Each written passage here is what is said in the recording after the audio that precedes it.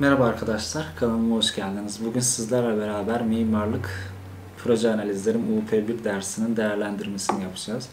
Bu ders sürecinde e, izlediğim yolları size aktaracağım. Yaptığım doğruları ve yanlışları en sonunda da final yani projeyi teslim ettikten sonraki gözlemlerimi sizlerle aktarmaya çalışacağım. Bu şekilde de sizlere faydalı olmayı düşünüyorum. Öncelikle UP1 dersine bakacak olursak, UP1 dersi Mimar Sinan Güzel Sanatlar Üniversitesi'nde ikinci sınıfın birinci döneminde verilen bir ders.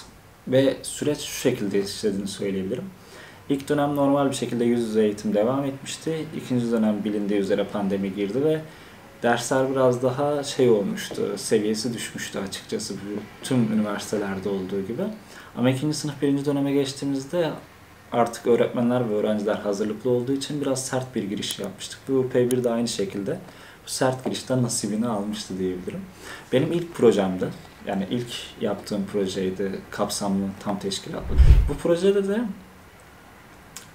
bir takım zorluklar çektim ve bu zorlukları size aktaracağım, projeyi göstereceğim aynı şekilde. Zorlukları şu şekilde çektim. Bir ilk başta bir özet geçecek olursam UP1 dersinde şöyle bir şey var. Mimarlıkta sürekli artık mimarlığa başladığınız zaman birçok projeyle karşı karşıya kalıyorsunuz. Birçok projeye özeniyorsunuz, bakıyorsunuz ve siz de artık onlar gibi olmak istiyorsunuz. Üç boyutlu animasyon, iki boyutlu renklendirilmiş güzel paftalarla beraber ve pandemi vurduğu için tam teşkilatlı işe gire, girememiştik ve artık belli bir seviyeye gelmek istiyorduk. UP1'de de buna en güzel şekilde yansıttığımız ders oldu. Yani giriş dersi olarak. Ve ben açıkçası çok iştahlıydım, hevesliydim bu işe girerken. Çünkü animasyonlar başlayacaktık. Üç boyutlu, pro, çoğu programları kullanabilecektik ve yani bir binayı tamamen hem tasarlayıp hem de projesini çizmeye başlayacaktık tam olarak. Hani birinci sınıfta yapmıyor muyduk? Tabii ki de yapıyorduk ama daha çok öğrenme aşamasında olduğu için parça parça bütüne gidiyorduk.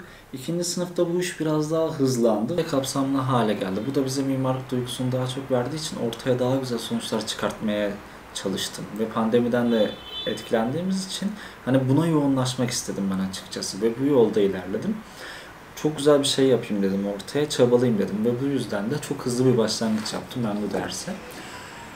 Derste ilk 2-3 hafta işte zaten klasiktir mimarlıkta proje yaparken arazi ararsınız mimarlıkta. İlk 2-3 hafta hocalar beğenmez. İlk haftada seçebilir, 3. haftaya da kalabilir. Hocaların beğenmesine bağlı bir durum. Arazi normalde yüz yüze eğitimde olsa e, biz İstanbul'daydan İstanbul'un çoğu sokaklarını gezip uygun yerlerde arsa bulup hocaya götüreceksin. O da beğenecek, onaylayacak. O yani o arsada devam edeceksin binanı yapmaya. E biz bunu online eğitimde pandemide olduğumuz için nasıl yapacaktık? E tabii ki de Google Google Maps'ten yararlanacaktık. Oradan İstanbul'da işte araştırıyoruz. Daha önce de bildiğimiz arsalar, yerler var İstanbul'da. İstanbul'da ben Kuzguncuk'ta yaptım. Üsküdar Kuzguncuk'ta projemi. Oradan bulmuştum. Benim hatalarım aslında şöyle yapalım direkt. Projeye geçelim, onun üzerinden anlatayım ben. Evet arkadaşlar, şimdi sırada projeyi tanıtma kısmına geçtik. Projeyle beraber ilerleyeceğiz. Öncelikle benim kendi yaptıklarımdan yola çıkacağız. Nerede hata yaptım, nerede doğru yaptım, nereye ulaştım gibisinden. Öncelikle bir uygulama projesi olsun, normal proje olsun, bina tasarım dersleri olsun. Eğer ki bir proje yapıyorsanız, bina tasarlıyorsanız veya da bir bina yapıyorsanız ilk önce yerini bulmak lazım ve bu gerçek olmalı, sanal olmamalı. Dünya üzerindeki bir yer. Genelde e, üniversitenizin yakın olduğu yerlerden, semtlerden arayarak, bularak, araştırarak orayı, arsayı alıyorsunuz. İlk başta dediğim gibi öğretmenlerin onayıyla beraber projenize başlıyorsunuz. Bu neden önemli? Bunu yaparken yükseklik, e, eğim, kod bunları dikkate alıyorsunuz. Yan taraf komşuyla dikkate alıyorsunuz ve gerçek bir yerde çalışarak o gerçekten yapılmışlık duygusunu size katıyor. İşte uygulama projesini tanıtacak olursam ilk önce arsa tanıtımı yaptım. İstanbul, Üsküdar, Kuzguncuk'taydım. Ben zaten burayı daha önceden e, eğitim yüz yüzeyken gidip biliyordum yani. Bak daha önce araştırmıştım. Şeyini çıkarttığım için bildiğim yerlerde. O yüzden bu uygulama projesinin pandemi döneminde Kuzguncu'yu seçmek istedim. Bu şekilde o zamanlar tabii AutoCAD'i yeni öğreniyoruz. Bu şekilde haftalar çıkartıyoruz. Şuna bak. Şunlar ağaçlar mesela. Şu şey olması lazım. Elektrik direği miydi? Öyle bir şeydi. Aslında bunları projede gerek yok. İlerleyen dönemlerde göreceksiniz. Ondan sonra Google Earth'ten haritalardan konumunu gösteriyoruz. Tanıtımını yapıyoruz. İşte farklı Yandex'ten göstermişim ben burada. Sonra normal haritadan yerini gösterdim. Olabildiğince analizini çıkartıyoruz. Parselini sorgulamışız. Metrekaresini almışız. Dağlık arazisine bakıyoruz. Ondan sonra AutoCAD'den versiyonunu yapmışım. Niye koydum ben de bilmiyorum. Bazen hani araştırmayı şey yapmak için, kanıtlamak için mi diyeyim, şey yapmak için daha iyi hocaya tanıtmak için bazı şeyler yapıyorum. Yani fazladan bir şeyler koyuyorum. Bazen gerekli oluyor, bazen gereksiz oluyor. Genelde gereksiz olduğu da çok çıkıyor yani ama bilemiyorsun ilk başlardan. Yani ne yapmalıyım? Ya mimarlıktaki en büyük sorun budur belki de. Çünkü bir işe başlarken, projeyi yaparken e, ilk başlarda neler yapacağını bilmiyorsunuz. Hoca ödev veriyor. Yani anlaşmak, iletişime geçmek gerçekten çok zor. İlerleyen zamanlarda bunun kanıtını size göstereceğim. An- yan- yanlış anlamaların çıkarttığı sonuçları. Alan burası.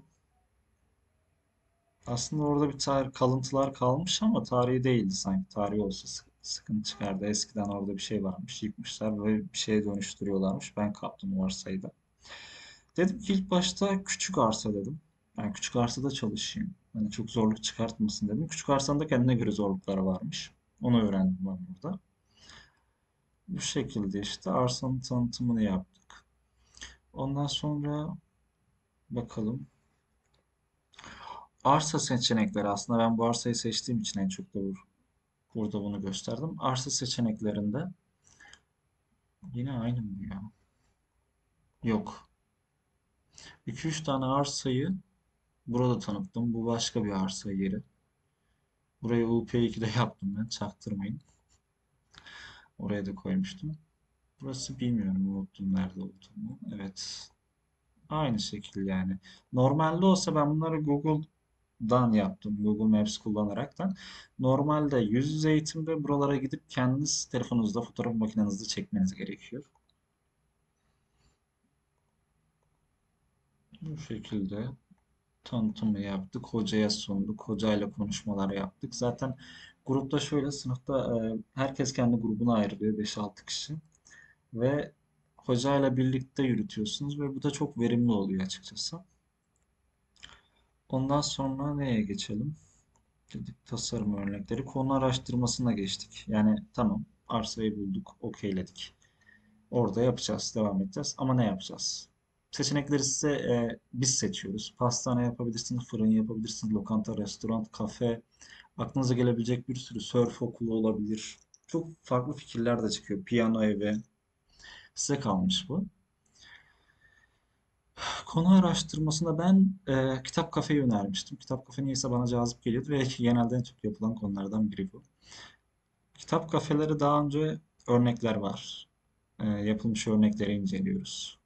Kütle oturtma nasıl yapılmış ve bunun gibi ben beş altı tane böyle bu şekil kitap kafe örnekleri inceledik. Farklı örnekler. Buraları biraz daha hızlı hızlı geçiyorum. Bunları şeyden alıyoruz. ArcDale'den, Arc bir iki tane mimarlık sitesi var. Oralardan buluyoruz. Onu inceliyoruz, yazıyoruz. Hocaya sunumunu yapıyoruz. İlk haftadan sunumlar başlıyor açıkçası.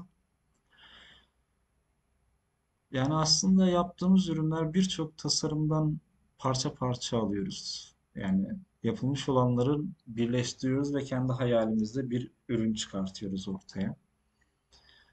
Da bu şekilde tasarımlar sunuyoruz, devam ediyoruz. Kafamızda bir şey oluşması gerekiyor. Tasarım örnekleri, içi yani ben biraz daha hani bunu fazladan yapmış gibi oldum. Tasarımın biraz daha içerisine girdim.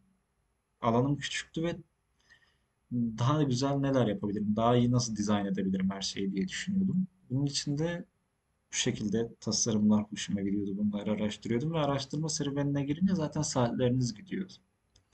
Birçok zamanınız gidiyor ve benimki daha fazla gitti. Sadece buraya koyduklarım yani. Bir kitap kafe yapacağız.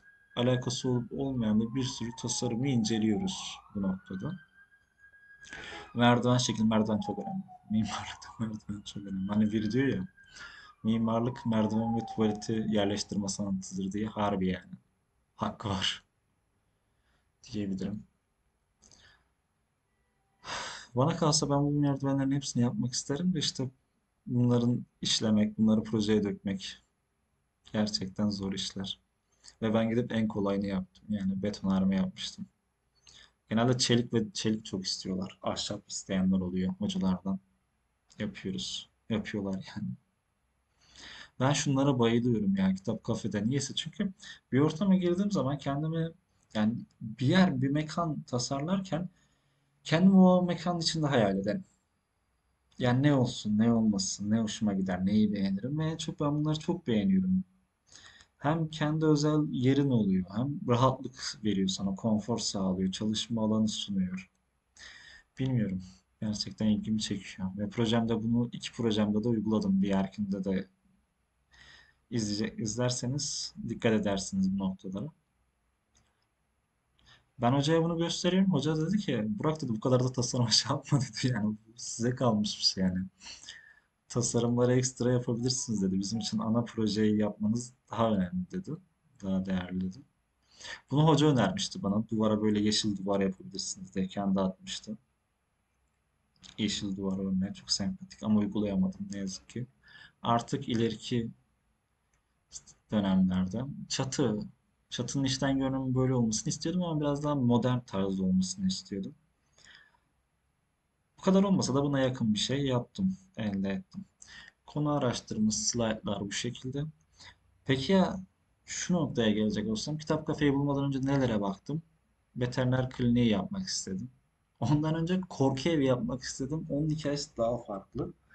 Üst dönemde bir arkadaşım vardı ve dedi ki hani korku evi yapıyordu projesinde ve hangi proje olduğunu hatırlamıyorum bilmiyorum da sadece onu korku evi yaptığını ve or- orada zorlandığını hatırlıyorum yani.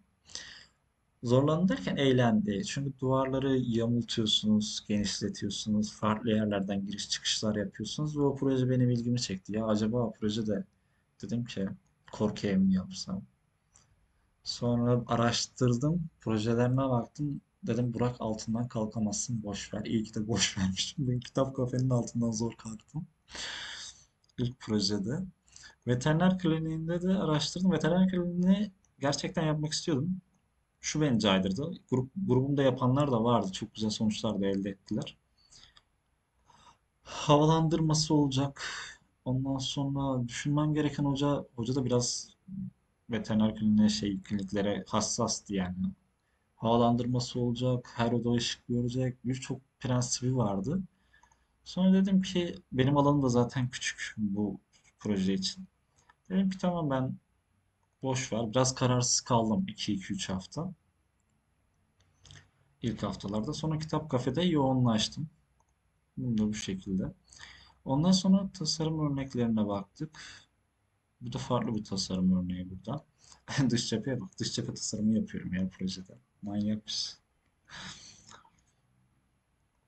Sonra buradaki sütunlar, buradaki mesela kalorifer pite mi desem boruların estetik hale dönüştürülmesi cezbediyor insanı. Yani minimal yerlerde küçük dokunuşlar yaparak güzel yan- güzel şeyler yansıtmışlar. Buralarda ilgimi çekenler buydu. Minimal şeylerle. Ondan sonra arsa modellemeye geçtik. Arsayı modelleyeceğiz. Şimdi projeye başladık. İlk 2, 3, 4 haftayı geride bıraktık. Bir araştırma serüveni. Projenin ilk başları zordur yani. Yani belli değil. Arsanız belli değil, konu belli değil. Ne yapacaksınız, nerede yapacaksınız, tarzınız ne? Yani tasarım aşaması gerçekten insanı zorluyor. Zorlandığım en büyük, en çok zorlandığım noktalardan biri bu tasarım aşamasıydı. Tabii AutoCAD'i yeni öğreniyoruz yine aynı şekilde. Şuna bak boyamalar canlı canlı. Ağaçları falan boyamışım. Niye bunu yaptım bilmiyorum. Benim alanım burasıydı. Ondan sonra SketchUp'a geçtik. SketchUp'tan modellemeler yapıyoruz. Üç boyutlu yükseltiyoruz. Arazi eğimi yapıyoruz. Yola indirip kaldırıyoruz. Tabii Çok heyecanlıyım ben o zamanlar. Böyle patır patır yapıyorum yani. Hiç üşenmedim. Bu da projemin ilk hali, ilk şekilleriydi. İlk haftalardan sanırsam. Peki projeye girdik. Proje tesliminde vize teslim ben. Tasarıma çok önem verdim. Binanın yapısından da göreceğiniz üzere. Hmm, Tasarıma önem verdim. Modele önem verdim. Kütleler arası iletişime önem verdim ve vizeden gerçekten güzel bir puan almıştım. Tam puan almıştım vizeden. Çünkü tasarım gerçekten beğenilmişti ve ben de beğenmiştim açıkçası. Vaziyet planı olmazsa olmazı direkt koyun buna. Her şeyi başa koyun. Ondan sonra planlar geliyor. Aslında buraya zemin kat planı gelecek. Bodrum kat sonra gelmesi lazım herhalde diye hatırlıyorum. Küçük, minimal şey. Merdiven bana bu merdiven benim canımı okudu. Ben çelik yaptım. Ahşap yapmadım. Çeliğe çok uğraştım. Burada olmuyordu. Bir de kırıklı bak. Merdivenin burada kırıklı. Kesitini nasıl alacaksın? Geometrisi de bozuk. Yani dik açı yok burada yani. Dik açı olmadığı için ekstra zorlanıyorsunuz ilk projenizde ve buna dikkat edin yani. Yani illa şey yapmanız gerekmiyor ilk projenizde. Böyle kompleksli bir yapıya girişmeyin. Yani sonradan zorluk çekiyorsunuz. Basitten ilerleyin. Ya biliyorum en güzelini yapmak istiyor insan yapmışken ortaya şöyle çok iyi bir şey çıkartayım diye ama ileriki aşamalarda çünkü sen projeyi yapmayı öğreniyorsun ve ileriki aşamalarda zorlanıyorsun.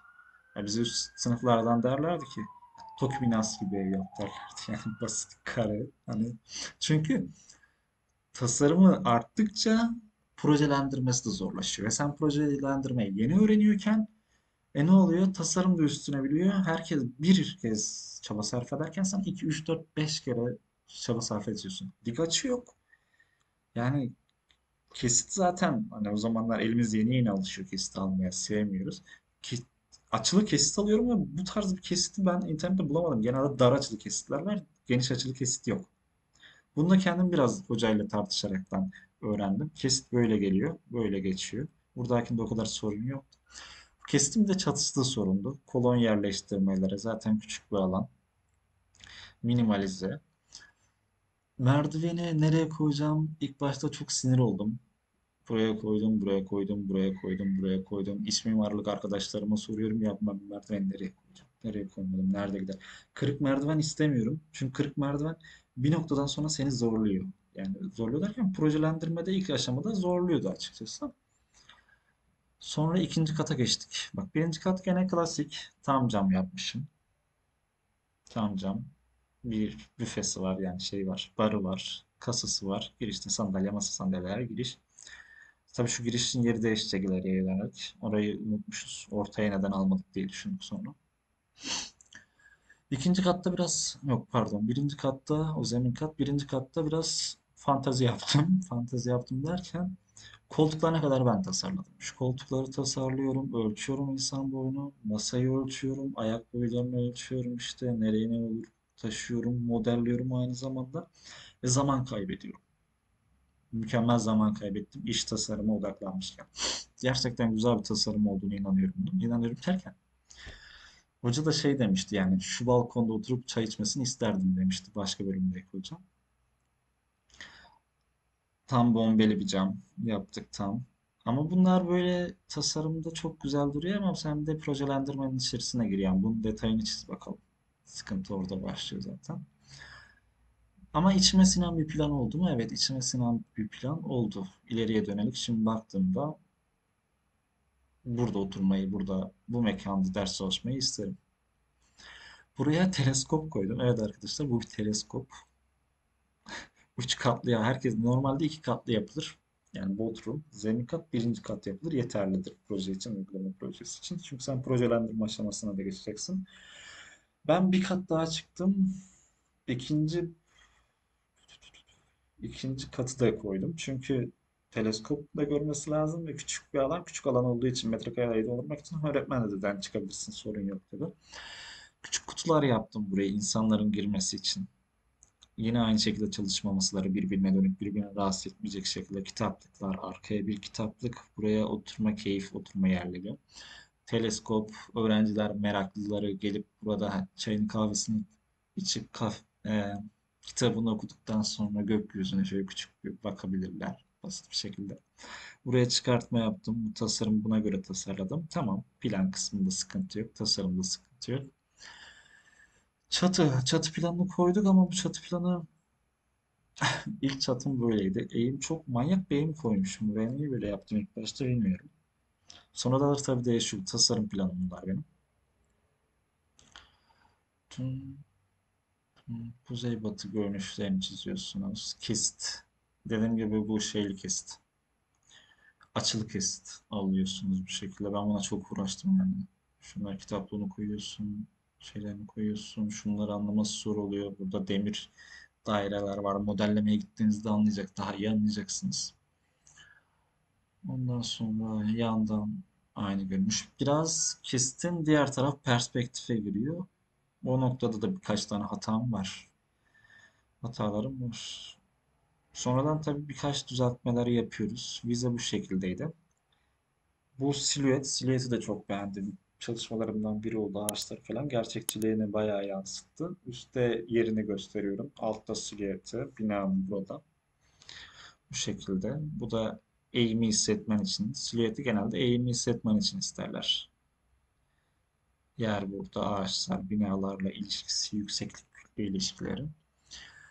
Ondan sonra içiyle alakalı bu SketchUp'tan alınmış gözlerimiz var, bombeli camımız var, sakin camımız var, bodrum katımız. Olabildiğince elimden geldiğince modellemeye çalıştım. SketchUp modellemem bu şekildeydi teslimim. Ve vizede bu beğenilmişti yani tasarım aşamasında. Hatta öğretmenler şey demiş, kendi öğretmenim söyledi. Biraz daha tasarımı azaltsın yani. Biraz abartıya kaçmışım ben bu çalışmada. Demişler ki yani azalsın. Tabii finale geliyoruz. Finalde biraz çakıldım. Vizede aldığım tam notu finalde geri verdim. Çünkü iş bu yaptığım tüm tasarımları projelendirmeye geldi ve artık yoruldum da. Yani dönem yarısında vizeyi veriyorsunuz. Yarısından biraz ileriki zamanda vizeyi veriyorsunuz ve o zamana kadar maksimum verimli çalışıyorsunuz. Aynı zamanda diğer dersler de var. Hepsini bir idare ediyorsunuz ve çalışma artık günlük her hafta hocaya sunum yapıyorsunuz. Diğer dersler aynı şekilde seni sıkıştırıyor. Yani pandemi falan dinlemiyor. Ve ekstra çaba sarf ettiğiniz için ileriye dönük gücün kalmıyor. Ve artık isteksizlik de geliyor. Ve bu gibi sonuçlar da beni finalde yıkmıştı açıkçası. Burada yönleri veriyoruz. Yaz güneşi, kış güneşi, lodos, esen rüzgarları ona göre hesaplıyoruz. Gölgesini nereye düşüreceğiz?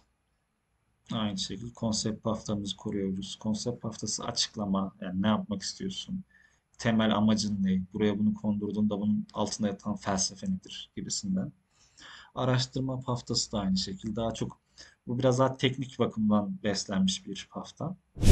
Sonrasında aynı şekilde tasarım planlarını koyuyoruz. Devam ederken. Daha çok oturmuş. Giriş kapıyı almışım. Tam sıfır çizmişim. Biraz daha mesafeler daha ideal. Merdiven, kesitler, üstten görünüşler yapmanız gereken birkaç tane temasla kodları koyuyoruz aynı şekilde. Cadde isimleri, çevresindekilerle ilişkiler. Bu birinci kat tasarım planları bu şekilde. Sonra çatı planı aşağıya bir oluk koyuyoruz. Su gelip aksın diye. Benim kelebek çatı olduğunu da hikayesini az sonra anlatacağım. Çatı planı eğim biraz daha düşürdüm. Baktım bu eğim neyi falan dedim. Bunu biraz SketchUp'tan aldım. SketchUp'tan aldığım için biraz daha şey demişler hani perspektife kaçtığı için buradan da not kırmışlar. O yüzden direkt görünüşler kendiniz çizseniz daha iyi olur. Ya SketchUp'tan aldım derken kendim çiziyorum ama şunları çizebileceğim şeyimde değil. Nasıl diyeyim? Yani tam çizebileceğim kotada değil şunlar. O yüzden SketchUp'tan yer destek aldığım için biraz daha not kırmışlar. Perspektife girmiş. Daha çok iki boyutlu olmalı görmüşler. Yani iki boyutlu, üç, üç boyutlu perspektife girmemeli. Orada sıkıntı var. Ondan sonra sıkıntılardan biri başka kesitlerde sorunum yoktu.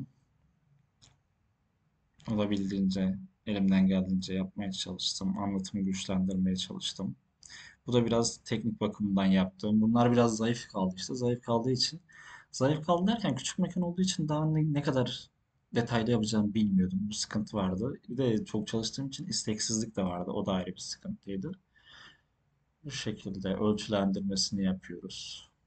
Olabildiğince işte altına şeylerini falan ne cinsinin vesaire onları yazıyoruz. Olabildiğince bu şekilde. Yine aynı şekilde silüetleri koyduk. Strüktür modelini istiyorlar. Strüktür modeli gerekiyor. Betonarme yaptığım için bu şekilde bir strüktür modeli koyduk. Yine şunlarda zorlandım. Bunun strüktürünü nasıl yapacaksın? Yani bu gözleri sen oraya nasıl yapacaksın? Çelik nasıl oturtacaksın gibisinden asmıştım herhalde ben bunları.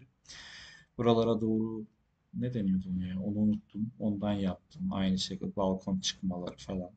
Çatı oturtmaları. Model de bu şekildeydi. Genelde ben hani UP1'de bildiğim kadarıyla şey istemiyorlar. Program istemiyorlar. UP2'de zorunluydu herhalde. UP1'de de AutoCAD ve SketchUp kullandım. Yeterliydi. Photoshop'tan da destek aldım ama çok bilmiyordum açıkçası ilk başlarda. Çünkü daha çok cephe tasarımına da özellikle çalıştım. Ortaya güzel bir şey çıksın diye. Kelebek çatıya gelelim. Kelebek çatının hikayesi şöyle. Ya ben bunu aslında şöyle normal çatı yapacaktım. Düz bilindik kırma işte onlardan yapacaktım. Sonra tipine baktık. Olmuyor yani. Bu, ta- bu kütle tasarımla o çatılar olmuyordu. Ve hoca dedi ki şey yanında bir grup hocası vardı da o kelebek çatıyı çok seviyor dedi. Buna da kelebek çatı gider dedi. Kelebek çatı yapalım dedi. Ve altının desteğini yaparsan çözülmeyecek bir sorun değil dedi. Ben de tamam dedim yapalım. Öyle, o şekilde de kelebek çatı yaptık. Farklı bir tasarım oldu.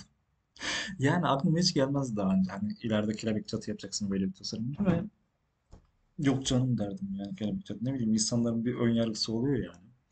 Ama şekle çok güzel gitti. Artı puanlarımdan biri şeydi bonuslarımdan. Ee, genelde bu projede hocalar kurakles ister, baca ister. Bu ikisine dikkat edin, yazın ve projenizde bunu uygulayın. Kurakles Bodrum'la yeryüzü arasındaki bağlantıyı verir. Baca katlar arasındaki iletişimi sağlar. Yani sen bir katı düzenledin, üstüne bir kat daha çıkacaksın ve o katlar arasındaki uyumu dengeleştirmen lazım ve aynı yerden baca çıktığı için bu denk e, neydi? Senkronizasyonu sağlıyor. Ben alanım küçük olduğu için bacayı yapamadım.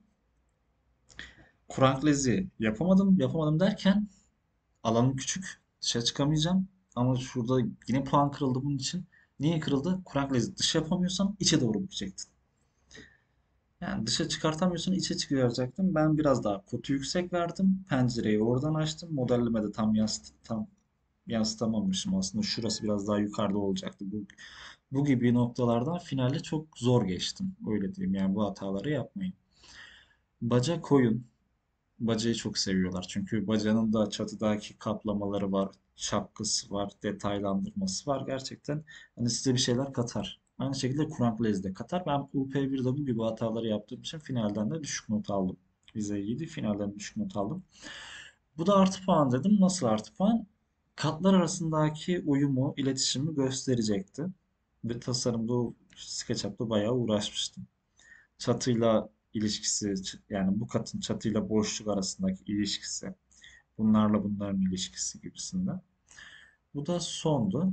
Şeylere geçelim. Bunlardan sonra hmm, projeleri yaptık, teslim ettik. 15 tatil girdi. Sonra diğer UP2'ye geçeceğiz. Buraya kadar hemen hemen aklımdaki her şeyi söylemeye çalıştım. Yazında yaptığım projenin renderını aldım gerçek 3 boyutlu modellemesini ve videosunu aldım. Hani böyle bir proje yapmışken bunu taşlan, neden taçlandırmayayım diye onu izleyelim birlikte.